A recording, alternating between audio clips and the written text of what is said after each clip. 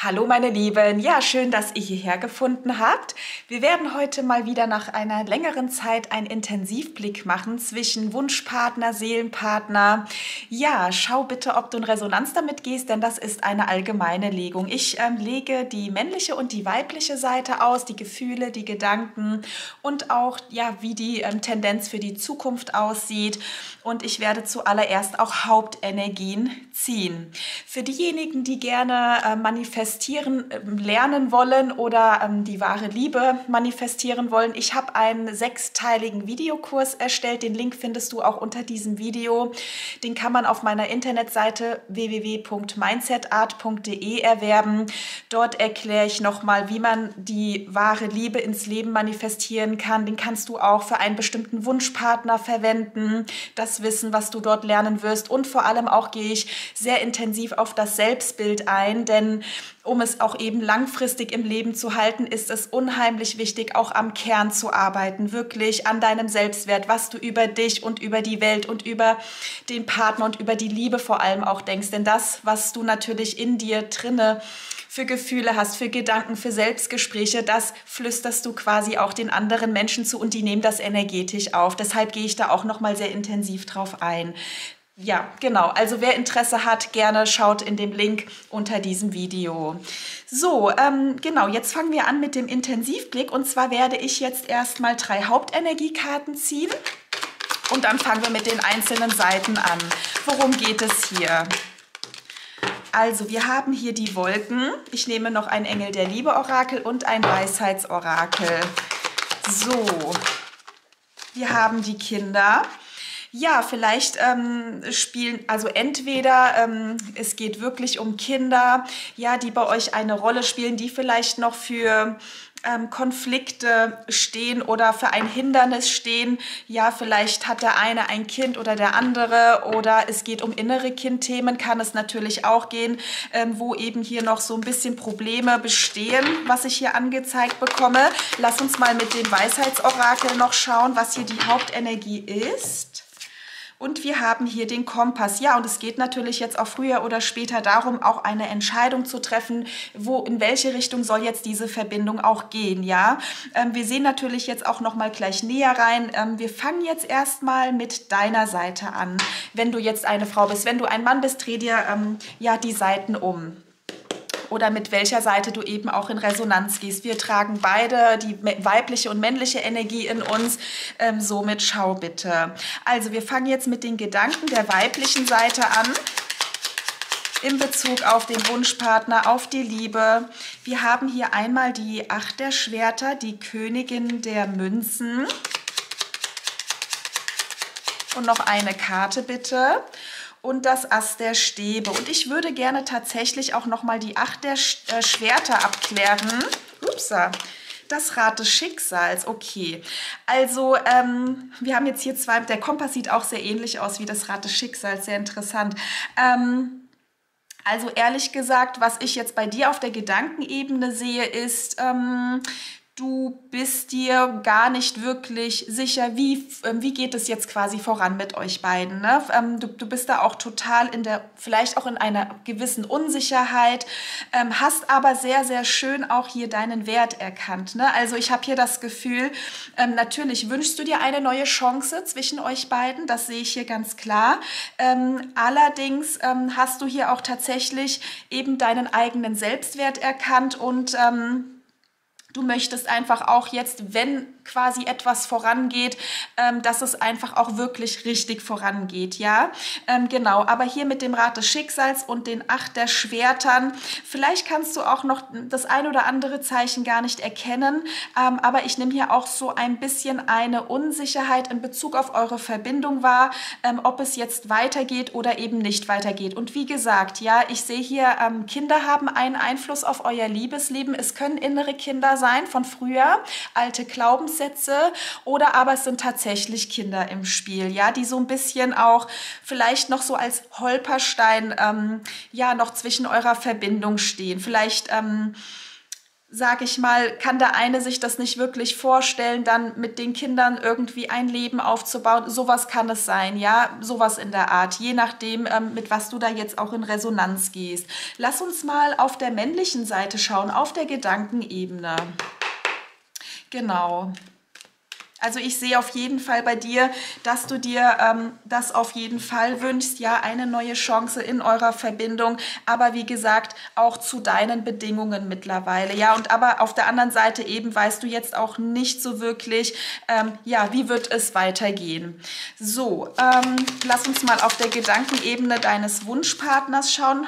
Ach, guck mal hier, wir haben hier auch das Ass der Stäbe. Ich nehme zwei verschiedene Tarot-Decks. Ähm, also er wünscht sich, hier, wünscht sich hier auch ganz klar die Chance zwischen euch. Und wir haben hier den Page der Kelche. Lass mich noch mal eine dritte Karte nehmen. Ach je, die sind ja aber heute hier rutschig. So, und noch eine Karte bitte sind sogar noch zwei gefallen. Ähm, und die neun der Stäbe und die zehn der Stäbe. Also hier, dein ähm, Wunschpartner, dein Gegenüber ist auch ganz klar in dem Wunsch drinne, eine neue Chance zwischen euch nochmal zu geben. Allerdings sehe ich hier bei ihm noch ein paar To-Dos, ja, weil wir haben hier die neun der Stäbe.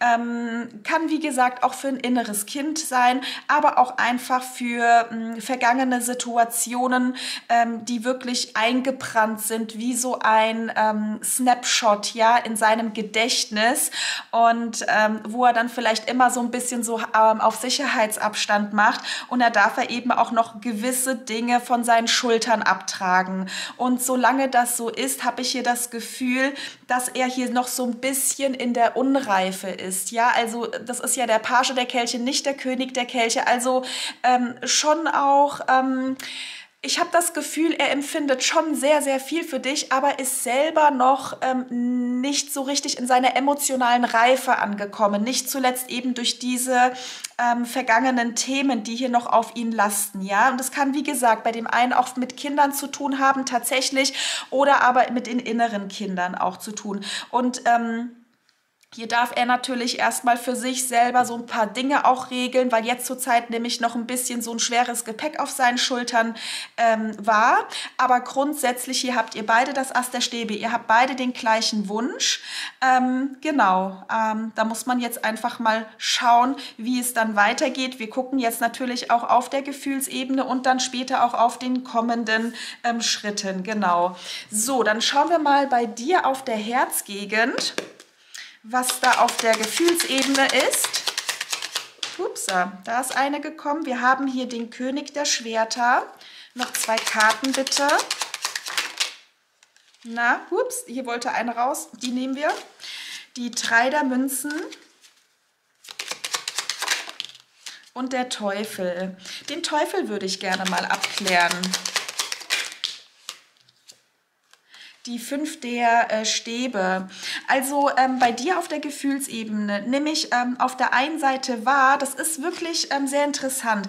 Ähm, bei dir nämlich war, du spürst, du spürst, du möchtest eine ganz verbindliche Geschichte haben, ja, Liebesgeschichte haben.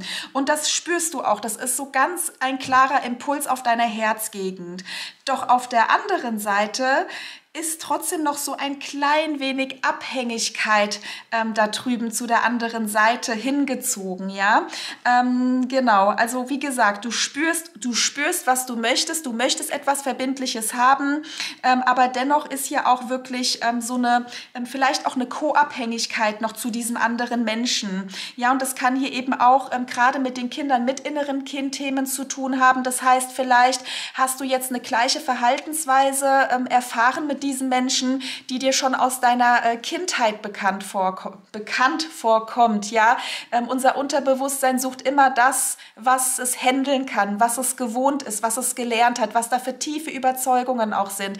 Und da ist es wirklich auch wichtig, in der Pike noch mal dran zu arbeiten. Wenn du jetzt hier mit in Resonanz gehst, ähm, da empfehle ich dir auch wirklich, wenn du jetzt eine Frau bist, ähm, die Meditation aktiviere die Göttin in dir auf meinem anderen Kanal Mindset Art ähm, regelmäßig anzuhören, um wirklich von von der Tiefe heraus nochmal in deine weibliche Energie zu kommen und das wirklich auch zu verinnerlichen. Denn auf der Gedankenebene hast du ja schon wirklich auch erkannt, ne, was du möchtest, was du verdient hast und es geht einfach auch nochmal darum, das von der Pike auf wirklich zu verinnerlichen, ja? Genau, und das sind hier eben so manchmal diese Konflikte, die ich ähm, bei dir auf der Herzgegend sehe. Ähm, auf der einen Seite hm, dieses dahingezogene sein, also dieses wirklich, man kommt da irgendwie nicht los. Und auf der anderen Seite, du weißt aber definitiv, was du möchtest, ja, du spürst es auch, du spürst, was hier der richtige Weg für dich vor allem auch ist, was du dir wünschst. Lass uns mal auf der Herzgegend von deinem Wunschpartner schauen. Der Wagen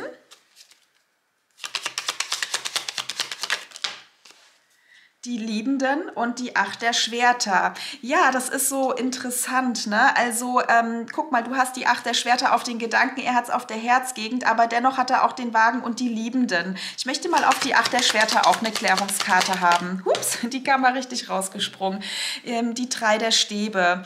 Also ähm, bei deinem Wunschpartner nämlich tatsächlich war, ähm, er fühlt sich definitiv richtig stark zu dir hingezogen. Ne? Er würde am liebsten sofort losgaloppieren in deine Richtung, dich dich um eine neue Chance fragen. Allerdings weiß ich nicht, ähm, wie wie gut überlegt das ist, ne? weil ähm, er hat hier auch noch eine Blockade auf der Herzgegend, die Acht der Schwerter mit den drei der Stäben. Vielleicht weiß er auch noch nicht wirklich so für sich oder hat noch nicht wirklich 100% für sich rausgefunden, was möchte er denn langfristig, ja? Und da kann eben auch, wie gesagt, das Thema Kinder auch ein Spiel sein, aber hier ähm, auf die Sehnsüchte sind die Acht der Schwerter gefallen. Das heißt, er ist selber auch noch nicht wirklich in dieser Klarheit. Das kann jetzt hier auch sehr gut sein, dass ihr euch beide hiergegen auch spiegelt. Das heißt, du hast ja auch so ein bisschen hier noch diese Unklarheit auf der Gedankenebene. Ihr beide wünscht euch diese Chance, aber vielleicht trifft es du auch manchmal wieder ab in vielen Ängsten und Zweifeln und weißt es nicht.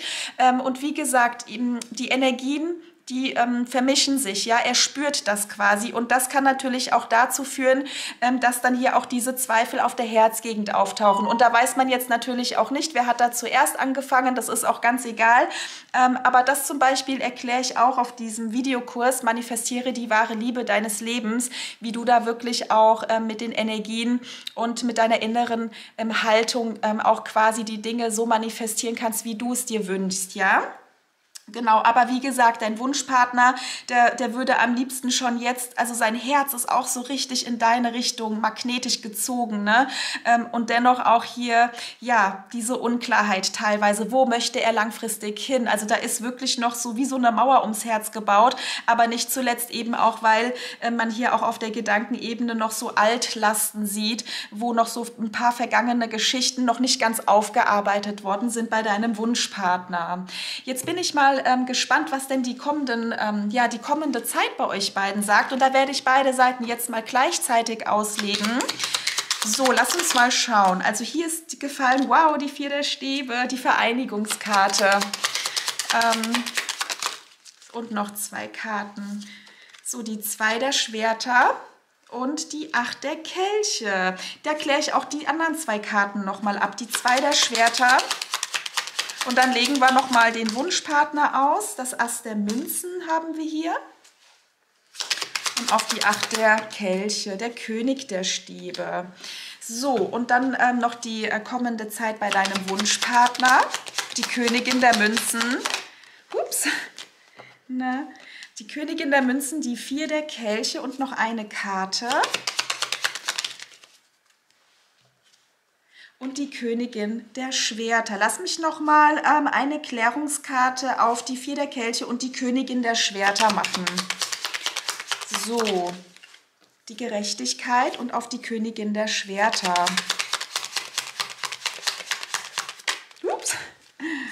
Okay. Oh, wow. Und die drei der Münzen. Okay.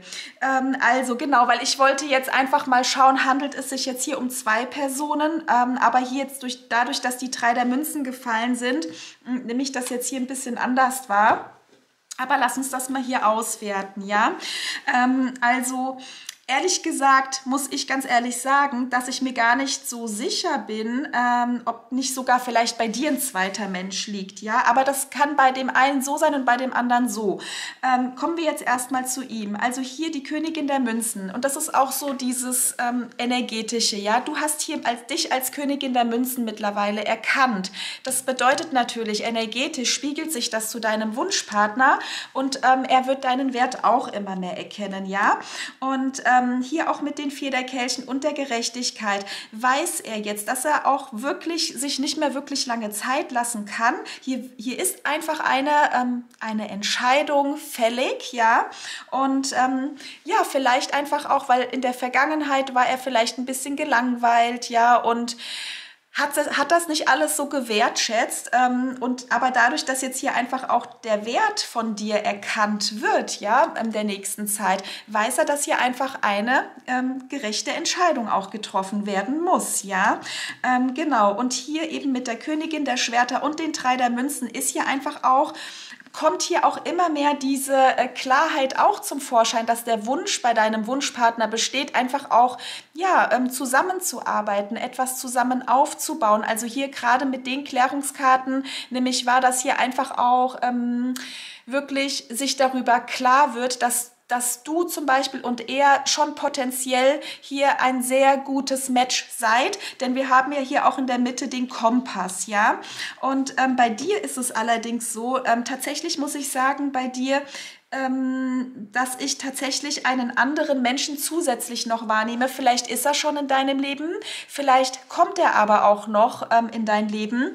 Ähm, auf jeden Fall liegt hier bei dir eine Vereinigungskarte und ähm, mit den zwei der Schwertern und dem Ass der Münzen kann es bei dem einen oder anderen von euch sein, dass wenn diese Entscheidung hier bei deinem Wunschpartner getroffen wird, dass es vielleicht schon bei dir zu spät sein könnte. Ne? Das heißt, du bekommst hier wirklich ein Angebot gemacht, also wirklich jemand kommt dann also hier auf dich zu, ja, möchte dir Stabilität einfach auch bieten, aber du bist dann vielleicht schon an dem Punkt, sollst du dem jetzt noch mal eine Chance geben? Oder ist da vielleicht mittlerweile ein anderer Mensch, wo du, wo du vielleicht mehr Potenzial siehst? Und zwar mehr Potenzial für die 10 der Kelche und nicht für die 8 der Kelche. Und da habe ich das Gefühl, dass du früher oder später sogar, dass du sogar die Entscheidung haben wirst, für welche Richtung du dich entscheidest, ne? weil ich hier einfach tatsächlich bei vielen von euch ähm, noch mal einen anderen Menschen, den König der Stäbe wahrnehme, ein Mensch, der sehr charismatisch ist, der selbstbewusst ist, der weiß, was er möchte, der so auch die Führungsqualitäten hat, der auch vielleicht wirklich sehr gut in seiner männlichen Energie ist. Und ähm, vielleicht siehst du dann da einfach auch ein bisschen mehr Potenzial langfristig gesehen, ja? Und das ist, wie gesagt, bei, dem, bei, bei jedem von euch unterschiedlich. Ich sehe hier noch keine klare Entscheidung, äh, für was du dich oder für wen du dich entscheiden wirst. Ähm, wichtig, also ich sehe einfach nur, dass du ähm, auf der Suche des vollen Glückes bist und du dann tatsächlich auch den Mut haben wirst, für dich einzustehen, dadurch, dass du deinen Selbstwert erkannt hast und dann wirklich auch mit dem richtigen Menschen zu dem richtigen Zeitpunkt in eine Verbindung kommst. Ja, also die Verbindung liegt hier auf jeden Fall. Deshalb auch umso wichtiger für dich, ähm, genau, dass du dann wirklich auch auf dein Gefühl hörst, auf deine Impulse hörst, dass du dann einfach auch ja dich für den richtigen Menschen ähm, ähm, dann auch entscheiden kannst. Wirklich äh, super interessantes Reading. Also wie gesagt, ich nehme hier wahr, dieser Mensch wird hier in die Klarheit kommen, aber vielleicht bei dem einen oder anderen von euch kann es zu lange dauern, sodass du vielleicht schon dich anders orientiert hast. Ja, so sehe ich das Bild hier. Genau. Ja, dann schaut bitte, ob ihr in Resonanz mit dieser Legung gegangen seid. Und wenn euch das Video gefallen hat, freue ich mich natürlich über ein Like, Kommentar oder auch Abo. Dann macht's gut. Tschüss.